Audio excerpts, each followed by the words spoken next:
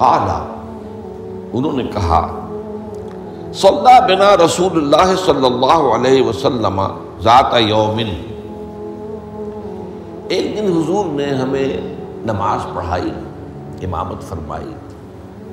सुम अकबल अलैना बेवजह ही फिर अपना चेहरा, अपना रुख हमारी तरफ़ करके आपने गुफ्तगु शुरू की। फवाजना मोज़तन बलीगतन।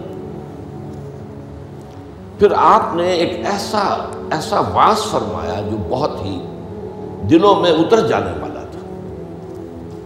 बलीग, बला का पहुँच जाना। तो गोया के वो हमारे दिलों में सरायत कर गया जरफत मिनहल अयून उसकी तासीर इस दर्जे हुई कि हमारी आँखों में आँसू उबल आए। बह गई बह पड़ी हमारी आँखें। वह वजलत मिनहल कुलूब। और हमारे दिल जो है, दहल गए। लर्ज गए। फ़काल रजुल। तो अर्ज़ किया एक शख्स ने,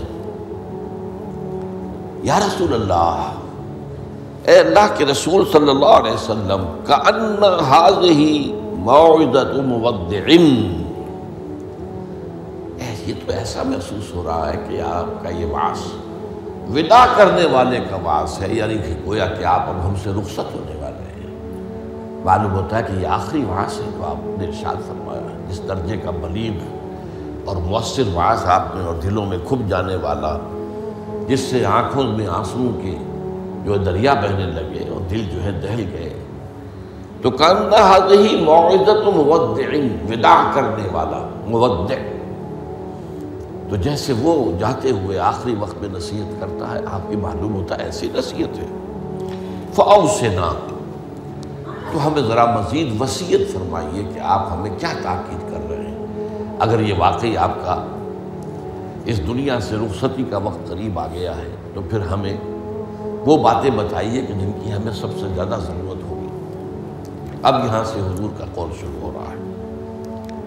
फ़काल, हजूर ने फरमाया ऊसीकुम बेतकवल्ला सबसे पहले तो मैं वसीयत करता हूँ, तुम्हें अल्लाह का तकवा इख्तियार करने तकवा के माने बहुत मरतबा बयान हो चुके हैं, बचना। और ये तकवा एक दुनिया का है, एक आखरत का है।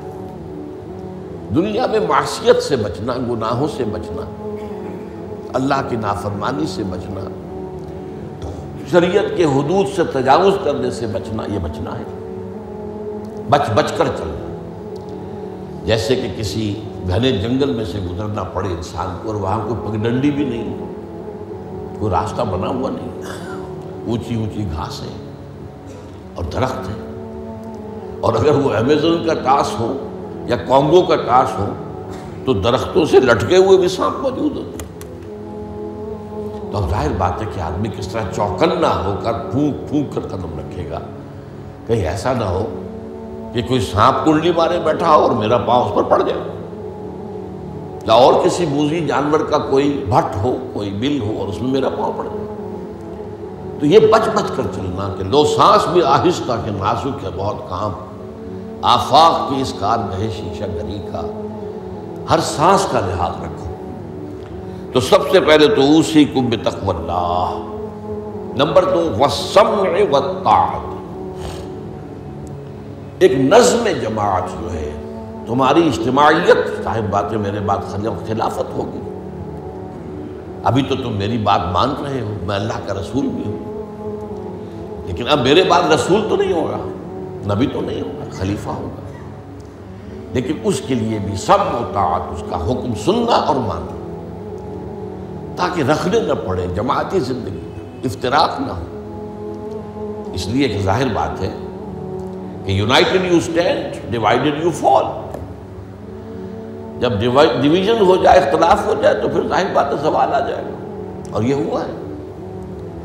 हज़रत उस्मान रज़ी अल्लाह तु की शहादत के बाद से वो डिवीज़न हो गई। शियान उस्मान, शियान अली, और फिर आपको मालूम है, खाना जंगी हुई। हज़रत अली रज़ी अल्लाह तु का जो पूरा अहद खिलाफत जो है, वो खाना जंगी की नज़र हो गया। एक लाख के करीब मुसलमान जो है एक दूसरे की तलवारों और तीरों और नेज़ों से ख़त्म हो गए। तो ज़ाहिर बात है कि फिर सवाल तो शुरू हो ही जाना था। फरमाया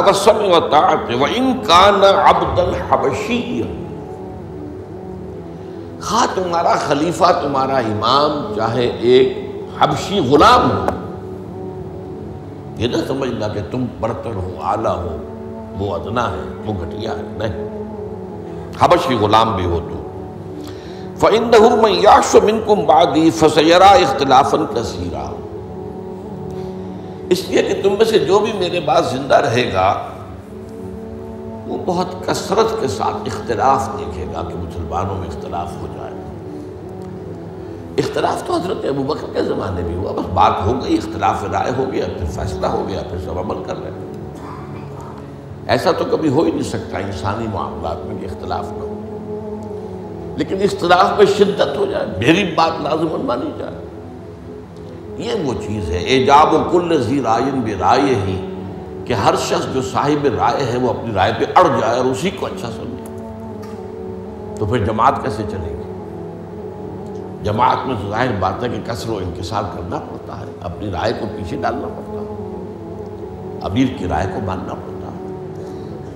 तो फरमाया फ़िंद मैयाशुमिन को बादी फसैरा इख्तलाफन कसीरन। अब वो आया जो इस मौजू से मुतल टुकड़ा है फ़ालकुम सुन्नति व सुन्नतलखलफ़ा राशिदीन महदीन तो तुम पर वाजिब है कि मेरी सुन्नत को पकड़े रखना और मेरे खुलफाए राशिदीन की सुन्नत को पकड़े रखना। ये ताकीद उनकी सुन्नत को मजबूती के साथ थामे रखना। अलमहदीन ये जो खुलाफा खुलफाए राशिदीन होंगे, ये महदी होंगे। महदीन हिदायत याफ्ता होंगे।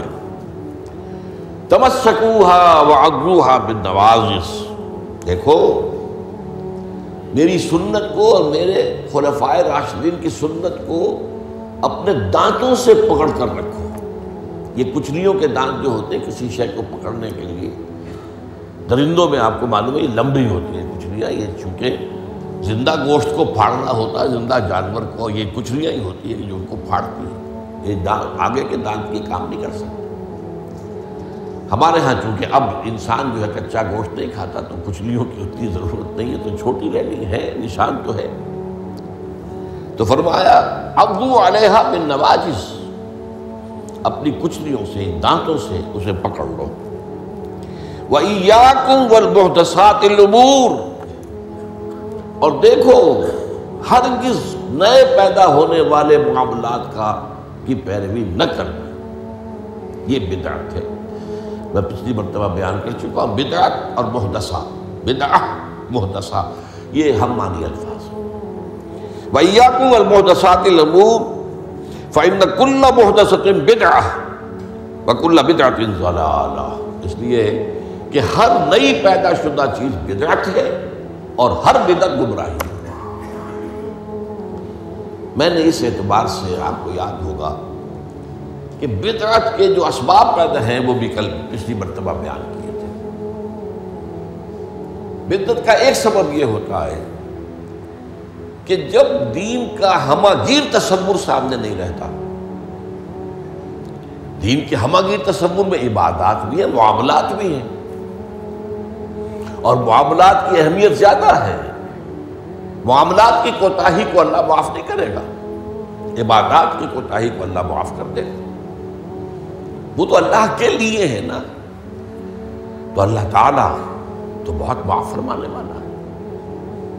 ये इंसानों का हक अल्लाह कैसे माफ़ करेगा? आपने किसी का हक मारा है तो उसका हिसाब किताब तो होकर रहेगा। या तो आपके कुछ बुरे आमाल, उसके कुछ बुरे आमाल, गुनाह आपके हिसाब में आएँगे। और या आपकी कुछ नेकियाँ होंगी तो वो दे दी जाएगी उसको जिसका के हक आपने मारा वो गिव एंड टेक वहाँ होगा। क्रेडिट डिस्क्रेडिट जो है वो होगा। क्रेडिट और डेबिट वो हो कर रही।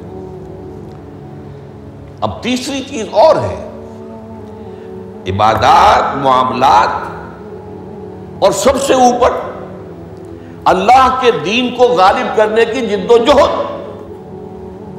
यह हमने हज़रत माज की हदीस में पढ़ा है। बजरबत सलाम मिन अल जहाद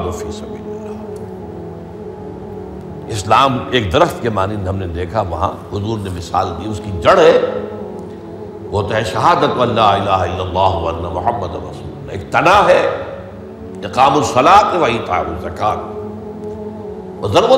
में और आपको मालूम है कि असल जो दरख्त से मतलूब होता है, वो तो ऊपर होता है। ठीक है, बास दरख्तों की लकड़ियाँ भी काम में आ जाती हैं, जला के भी लेते हैं या वो उससे फर्नीचर बन जाता है। लेकिन असल जो है, पौधा लगाया है तो फूल के लिए पौधा लगा, दरख्त लगाया तो आम के लिए, वो कहाँ होता है? वो तो जड़ में तो नहीं लगता, वो तने पर नहीं लगते, वो तो ऊपर। तो वो जो चोटी है, वो जिहाद फ़ी सबील्ला है। अब कुछ लोगों की ज़िंदगी से ये जिहाद खारिज, उन्हें तस्वुर ही नहीं कि ये भी कोई फ़र्ज़ है।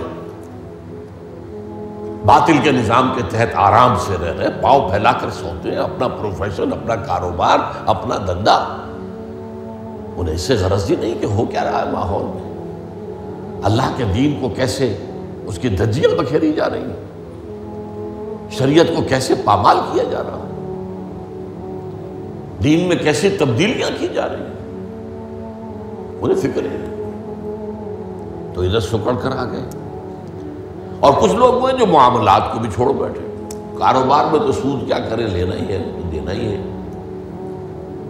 बैंक से रुपया लिए बगैर कारोबार कैसे बढ़ाएँ? कारखाना तो लगाना ही है तो बैंक से तो कर्ज लेना ही है। छोटे मकान में कैसे रहूँ? बड़ी हवेली तो बनानी ही वहाँ से जो है बैंक से कर्जा लेना ही है। या इसी तरीके से और क्या मामला के अंदर जो है वादा खिलाफी हो रही है, झूठ है, वगैरह वगैरह। धोखा है। अब वो दीन सुकड़ा। एक हिस्सा इकामत दीन की जिद्दोजहद, खारिज बहस। मामला उसके अंदर भी कमी। तो अब सारा जो गाढ़ापन है, वो इबादत में आ गया। मैंने मिसाल दी थी आपको कि एक तशला होता है ना, उसमें पानी भरा हुआ है। एक इंच ऊँचा है, दो इंच ऊँचा है। उसी को आप किसी जार में डाल दीजिए, वो एक फुट ऊँचा हो जाएगा।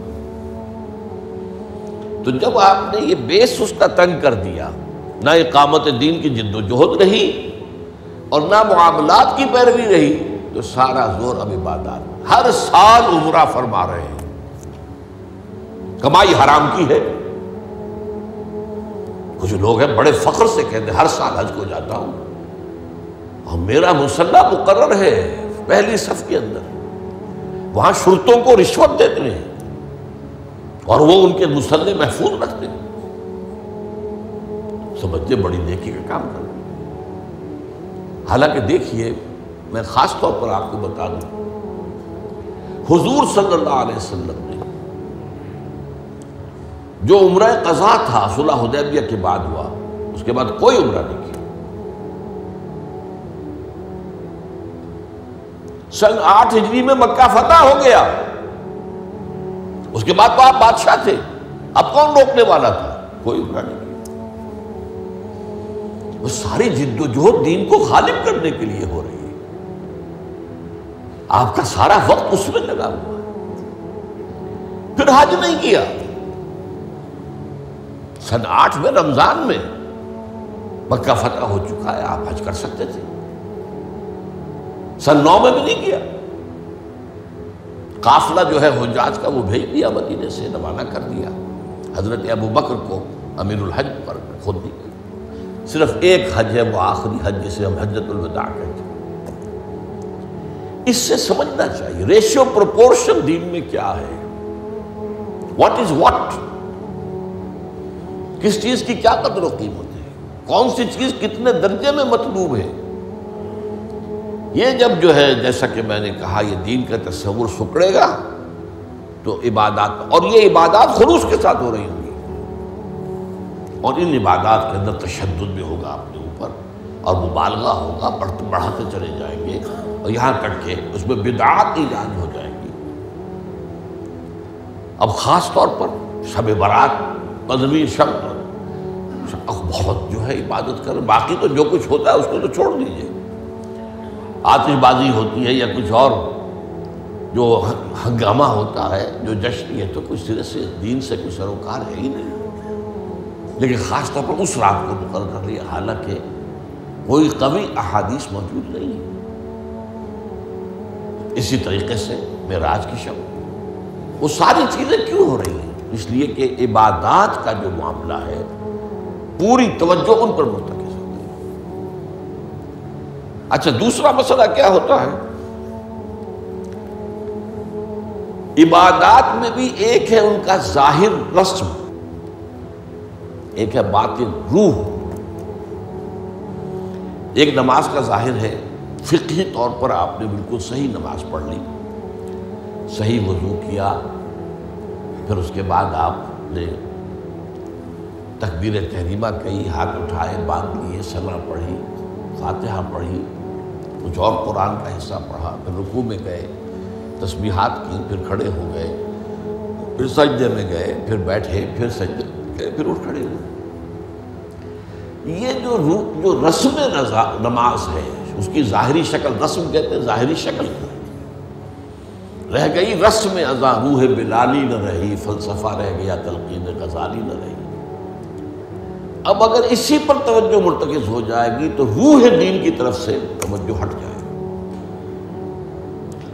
उस ज़ाहिर के बारे में तो बड़ी नींद में होगी छोटी छोटी बातों के ऊपर इख्तलाफ हो जाएगा मन दीगरम तू दीगरी ये क्या किया तूने? आमीन ज़ोर से कह दिया, ये हमारी मस्जिद में आया कैसे तू? आइंदा ज़रूरत न करना, टांगे तोड़ देंगे। ये क्या रफाया कर रहे हो? छोटी छोटी चीज़। बड़ी चीज़ें सब हजम, लकड़ हजम, पत्थर हजम, सूद हजम, झूठे कारोबार से आने वाली आमदनी हजम। ये इख्तलाफात हजम नहीं होते, उसमें फिर रसूमात का इजाफा होगा रसूमात पर रसूमात रसूमात पर रसूमात। अब इसी की एक मिसाल है, शादी ब्याह के लिए रस्में कितनी हो गई? हमने तहरीक शुरू की, अल्लाह का शुक्र है, कुछ चर्चा है। भाई निकाह मस्जिद में करो, लड़की वालों के यहाँ कोई दावत काम, उसका सबूत नहीं है। दावत काम एक है और वो दावत मलीमा है, लड़के की तरफ़ से। उसका घर आबाद हुआ है, वो अपनी खुशी मनाए सेलिब्रेट करे अपने दोस्तों। ये साबित है, इसकी ताकीद है। बाबुल वलीमा हदीस की किताबों के अंदर पूरा बाग बाकी और कोई नहीं। अब ये हमारे यहाँ बारात चढ़ रही है और पहले सिरा बन रहा है और फिर वहाँ कुछ पैसे भी पेश किए जा रहे हैं। फिर वो बारात गई है, जत्था बनकर, और वो लड़की वालों के यहाँ जो है, वहाँ निकाह हुआ है और वहाँ फिर वो जो खाने खाए जा रहे हैं, उनमें जो जो आपको मालूम है, इसराफ हो रहा है, जो जो खाना जो है, बर्बाद हो रहा है, जिस तरीके से खाते हैं। ये सारी चीज़ें। और फिर कितनी दावतें होती हैं। मेहंदी की दावत हो रही है, मेहंदी की रस्म हो रही है। अभी तो तारीख लेने जा रहे हैं लड़की वालों के यहाँ वो दावत हो रही है जश्न हो रहा है पर होता कहाँ है ये? जिन लोगों की हराम की कमाई जो है, जिनके पास अंबार उसके हैं, वो अपनी दौलत के मिजार के लिए ये सारे काम करते हैं। और इसका नाम तबजीर है कुरान मजीद की इस्तेलाह में। तबजीर। इन मुबजरीन कान खान शयातीन। ये जो पैसे लुटाने वाले हैं, अपने नामो नमूद के लिए, शोहरत के लिए, दिखावे के लिए, ये शैतानों के भाई नतीजा क्या निकलता है? आपके पास तो दौलत के अखबार थे, आपने किया एक गरीब आदमी की मुसीबत हो गई। वो क्या करे? मेरी बेटी क्या कहेगी? मेरी शादी पर मेरा बाप ये भी नहीं कर सकता। वो खाते पूरे करते हैं, जिस तरह भी हो। कुछ भी। कहीं हराम से कमाएँ, कहीं चोरी करें, कहीं डाका डालें, कहीं रिश्वतें लें, जिसके हाथ चंद बेटियाँ हो जाए, उसकी नींदें हराम हो जाती हैं। जबकि इस्लाम का उसूल ये है, शादी में लड़की वालों का एक पैसा भी खर्च नहीं होना चाहिए। मेहर लड़का देगा, महफिल निकाह में छुआरे लाए या कुछ और लाए, टॉफियाँ लाए कुछ आए मुँह मीठा कराने के लिए लड़का लाएगा। वलीमा लड़का करेगा। लड़की वालों को तो खर्च ही नहीं। ना जहेज का कोई तस्वुर इस्लाम में। लेकिन हमारे यहाँ सारा मामला उल्टा है। तो ये है असल में जो इसबाब होते हैं। इसमें मैंने एक चीज़ आपको और बताई थी। जहाँ कोई बिदत आएगी, वहाँ से कोई सुन्नत गायब हो जाएगी। हदीस सुनाने से रह गई थी। महदस कौम बिदतन इल्ला रुफ़ा मिसलहा मिन सुन्नत रवाह अहमद रहम कोई कौम भी कोई बिदत ईजाद नहीं करती, मगर ये कि उसकी जगह से सुन्नत उठ जाती।